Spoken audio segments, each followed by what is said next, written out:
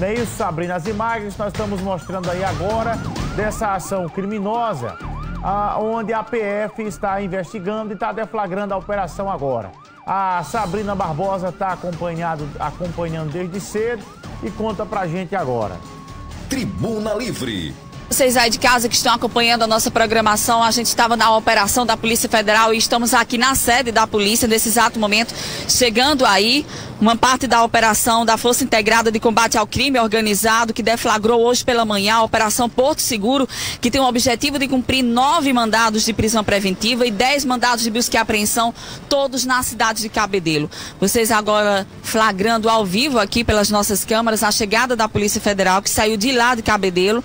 A gente agora há pouco também já viu a movimentação policial. Os levantamentos identificaram, inclusive, que os alvos desses mandados judiciais são nove de prisão e 10 de busca e apreensão são todos voltados à questão de processos criminais. Eram envolvidos em diversos crimes na região de Cabedelo e que hoje pela manhã, nessa operação, foram de fato os alvos de investigação nessa situação. Inclusive, as informações dão de conta que a operação também eh, teve o seu início eh, voltado à questão principalmente de postagens nas redes sociais. Alguns desses criminosos estavam postando nas redes sociais armas, fortes armamentos, inclusive é, ameaçando parte da comunidade lá de Cabedelo e por isso essa investigação foi desencadeada hoje pela manhã para encontrar esses alvos de mandados de prisão. A gente viu uma movimentação da polícia agora há pouco, que essa operação essas investigações seguem em seu curso, tentando identificar outros envolvidos na organização criminosa,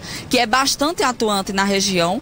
E o crime de integrar organização criminosa é um delito autônomo que não necessita da prática de outros delitos para se configurar e a pena pode chegar até oito anos de reclusão. Nesse caso, a gente vai aguardar por aqui para ver se realmente, de fato, vai ter algum tipo de é, fala da própria área da comunicação da Polícia Federal, se vai ter uma coletiva de imprensa, mas as investigações continuam e permanecem em curso. Chegou agora há pouco uma viatura da Polícia Federal, com possivelmente pessoas presas que vêm para cá, depois para a central de polícia, onde a gente vai dar de encontro com todas essas informações. Mas um fato curioso voltado a essa operação, que o nome dessa operação é Porto Seguro, é justamente que na semana passada um dos alvos um dos criminosos que seriam alvos de prisão hoje foi assassinado no final de semana passado. Inclusive, ele foi decapitado. Foi um crime muito brutal, mas seria uma pessoa que estaria sendo investigada pela polícia também. Outra viatura está chegando agora nesse momento, olha,